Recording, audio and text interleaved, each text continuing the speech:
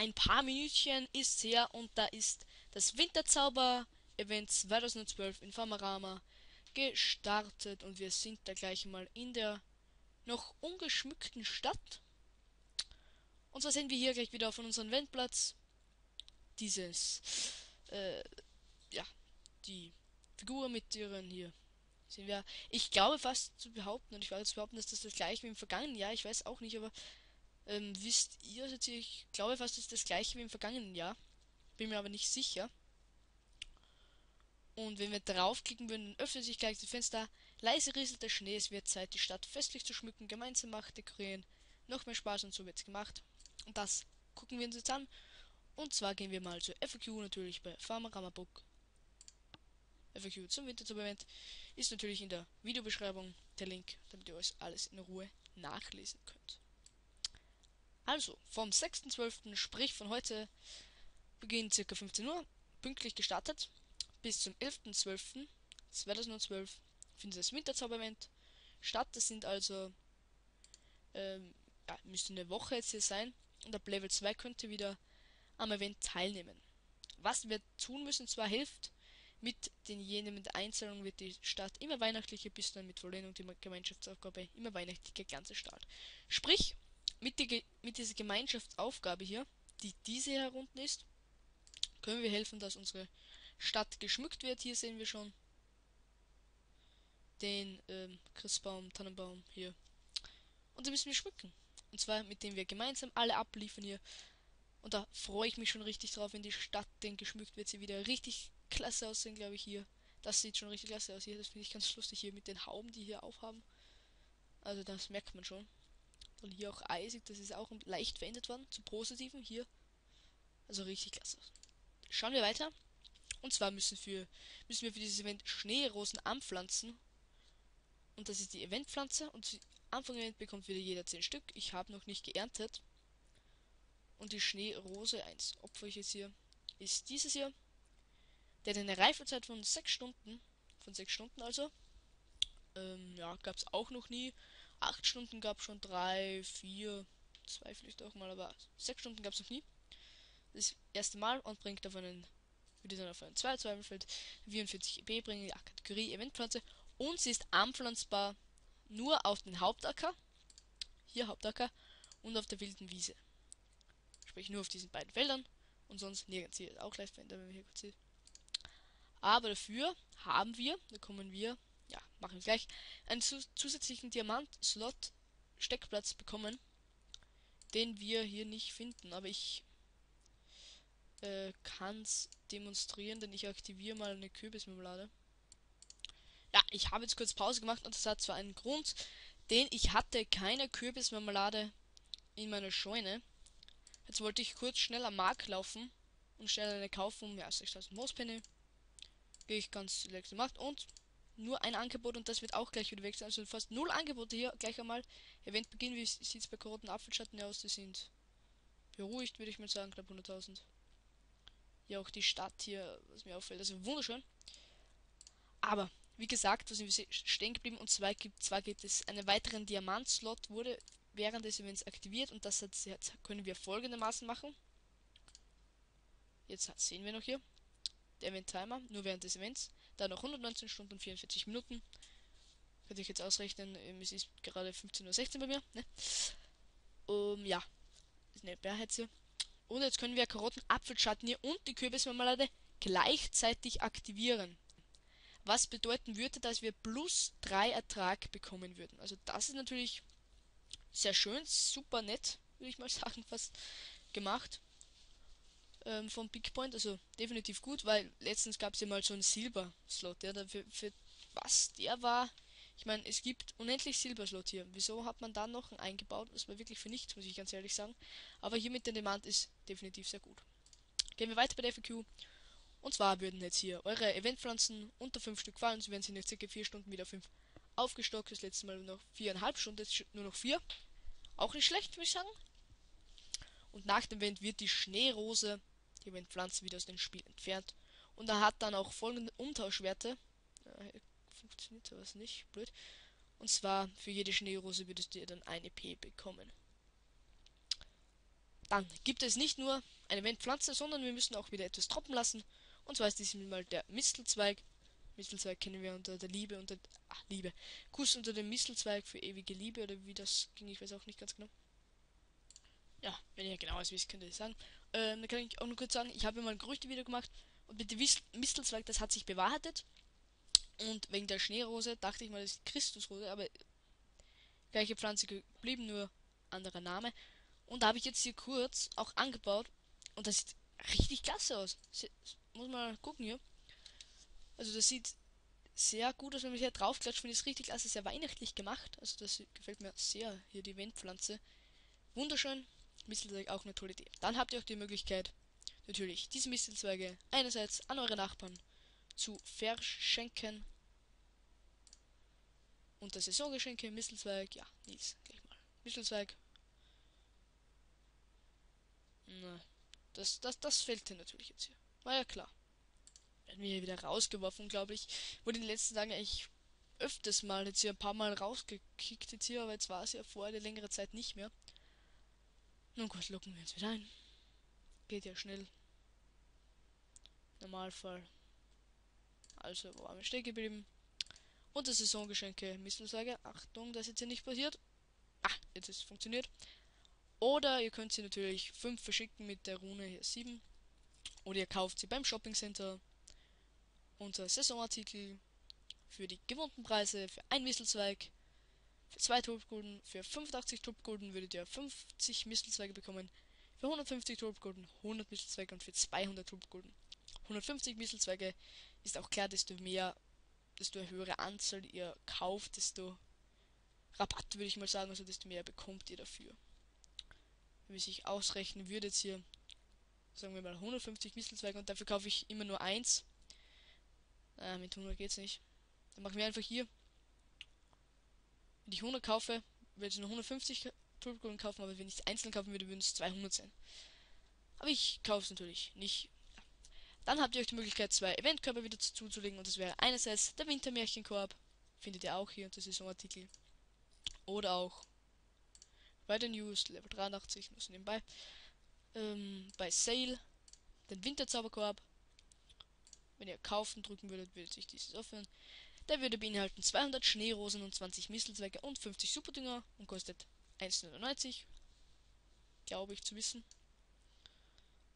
Müsste 1,99, ja, 1,99. Oder für 10 Euro, glaube ich. Gucken wir mal nach zur Sicherheit. Für 10 Euro den Wintermärchenkorb. Der würde beinhalten 1000 Schneerosen, 1 Karotten, Apfelschatten, 150 Mistelzweige und 100 Superdünger. Wenn ihr Lust dazu habt, ich habe noch nie einen Eventkorb gekauft. Also ich brauche das auch nicht. Nach dem Event wird dann jeder Mistelzweig für 5 EP und 5 MP umgetauscht. Wo droppen die Mistelzweige? Sie droppen überall außer auf dem Ziergarten. Natürlich beim Handwerk. Und auf der Wunderranke, sonst droppen die überall. Ja, Piratenbucht und Login-Bonus hier natürlich auch nicht. Ist ja klar, was willst du da abernten? Aber sonst droppen sie überall. Naja, ist backt hier blöd was. Dann gibt es zwei, für euch zwei individuelle Aufgaben, die ihr alle, alleine bestreiten müsst. Sprich, nur für uns.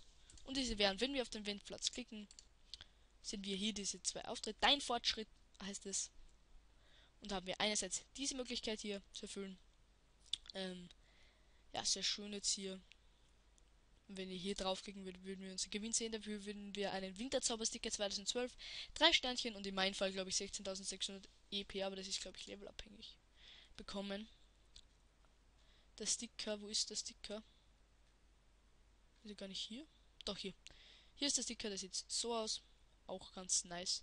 Ich finde den Bär ein bisschen unpassend, muss ich ganz ehrlich sagen. Hier beim Item dann. Aber da kommen wir gleich nochmal dazu, ist auch.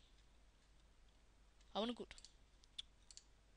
Und zwar müsste was dafür abgeben für diesen eine Aufgabe. Und zwar 25 Äpfel, wenn ich es hier abgeben würde. Unten würdet ihr auch die Belohnungen sehen, wenn ihr draufbleiben würdet, würde es ja auch.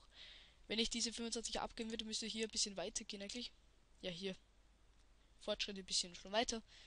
Noch dazu 2500 Schneerosen und 175 Mistelzweige.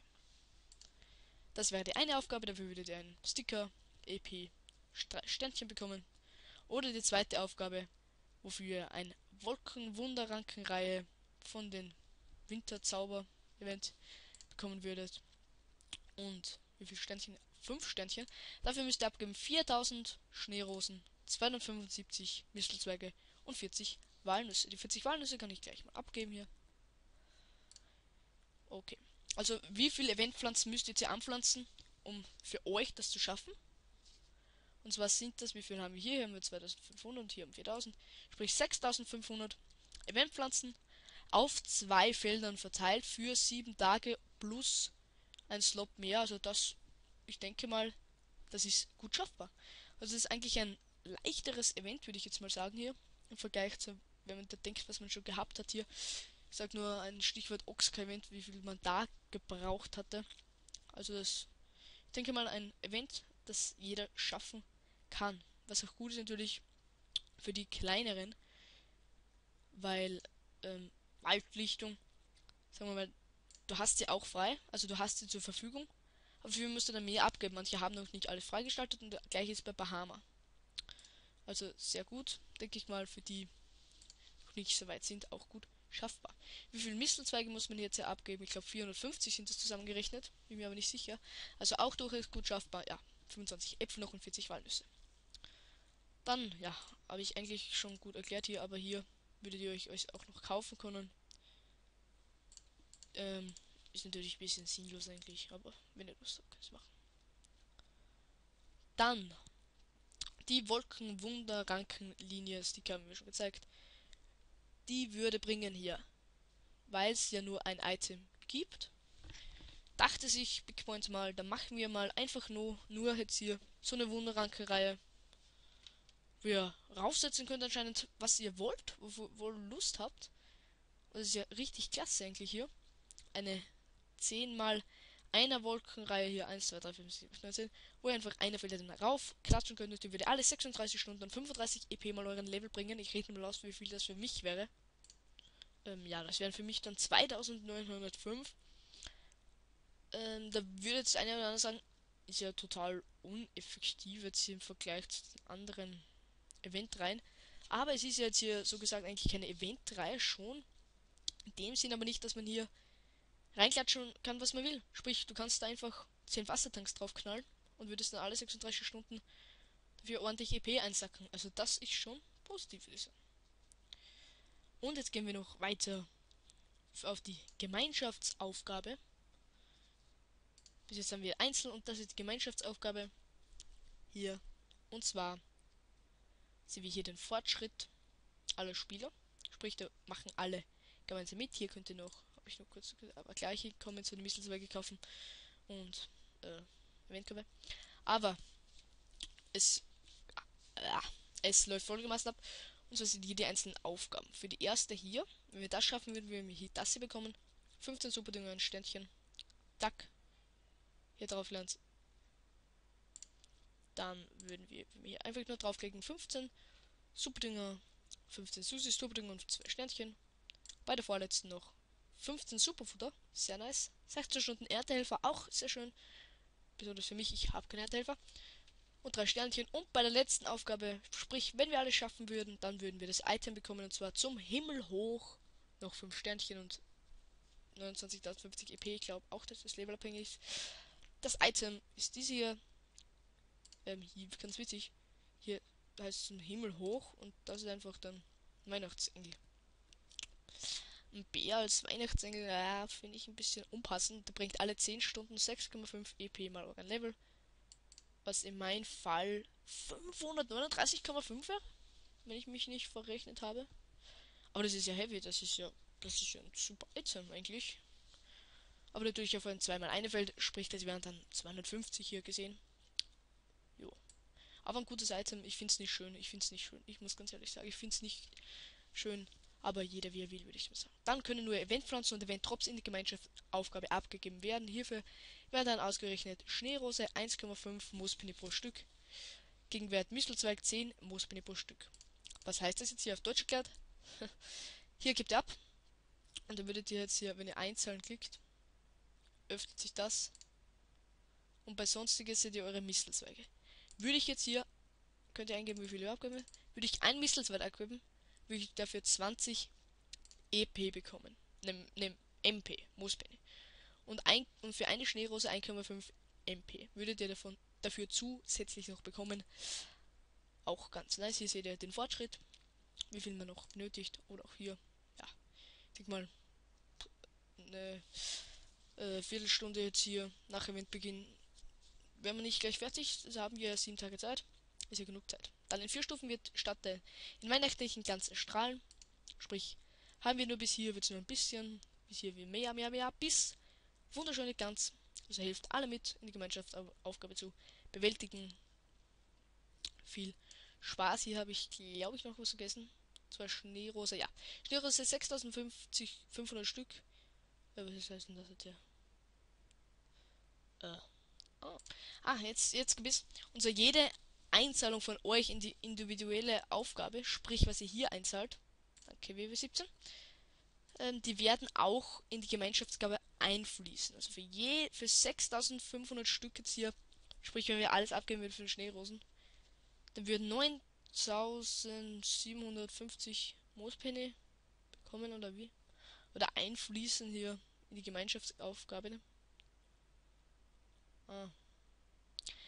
Okay, das ist alles zusammengerechnet. Dafür kann jeder von euch 18.500 Moospenne in die Gemeinschaftsaufgabe einzahlen, indem er seine Einzelaufgaben erfüllt. Für die einzelnen äh, da gibt es keine Moospenne, da die in die Gemeinschaftsaufgabe abfließen. Sprich jetzt hier, wenn ich hier meiner individuellen, in meiner eigenen etwas abgebe, wird es auch ein bisschen eingerechnet hier auf die große. Auch so schön. Hilft uns definitiv auch weiter. Also das ist das Event jetzt hier mehr oder weniger erklärt. Das dauert, hat jetzt ein bisschen gedauert, aber ist ja nicht ganz eigentlich schon ein bisschen klar. Aber ich hoffe, euch ist es klarer. Wie werde ich vorgehen? Ich werde natürlich jetzt hier versuchen natürlich mal das hier zu schaffen, aber das werde ich denke ich mal auf jeden Fall scha schaffen in sieben Tagen. Und dann gucke ich mal für die Gemeinschaftsaufgabe, wie weit wir da sind. Ich hoffe natürlich, wir schaffen das Item. Denke ich, will jeder haben, ist ja ganz klar. Auch wenn es hier, wenn es mir nicht so gefällt. Wie gefällt euch das Item? Schreibt es mal in die Comments. Wieselzweig finde ich wunderschön. Die Eventpflanze finde ich ebenfalls wunderschön. Schade, dass sie aus dem Spiel entfernt wird, aber Schneerose dann im Sommer anpflanzen. Kommt auch ein bisschen blöde, würde ich sagen. Aber nun gut. Also ich werde hier natürlich als große Felder, bis ich dann auf kleine umsteigen kann. Mit Kürbismarmelade, vielleicht auch mit Karottenapfelschatten nehmen. Und droppen werde ich natürlich auch lassen auf allen Fällen, ist ja ganz klar. Also, ich gebe mein Bestes. Ich hoffe, ihr zahlt mit in die Gemeinschaftsgabe, ihr helft mit. Die Stadt muss schöner werden, Leute. Zahlt ein. Und ich würde mich. Und ich denke, wir können uns freuen, denn auf eine wunderschöne Stadt, soweit wir es auch schaffen werden. Ich bin da gespannt, wie der Weihnachtsbaum oder hier aussehen wird. Da bin ich gespannt. Also gucken wir mal, wie gefällt euch das Event und macht überhaupt natürlich mit. Ich hoffe, ihr macht mit. Ich hoffe, ihr macht bei den Gemeinschaftsaufgaben mit. Mir gefällt es jetzt hier, ähm, ja, wie gefällt es mir? Mir gefällt es nicht schlecht. Denn einerseits ist es von den Eventpflanzen jetzt definitiv weniger geworden. Drops auch gut schaffbar, also es ist auf jeden Fall schaffbar. Schade, dass man kein einzelnes Item spielen kann. Finde ich ein bisschen schade, aber mal gucken. Mir gefällt mit dem Wundrank jetzt hier, mit den ähm, neuen jetzt hier, äh, dass man raufstellen kann, was man will. Kann man ja einfach Wassertanks draufstellen, ist sehr gut, die Idee. Da kann man eigentlich theoretisch keinen Verlust machen. Also, eure Meinung ist gefragt. Wie findet ihr das Event? Schreibt es unter die Comments. Und damit sehen wir uns bestimmt das nächste Mal wieder. Und wenn nicht, dann irgendwann mal gucken.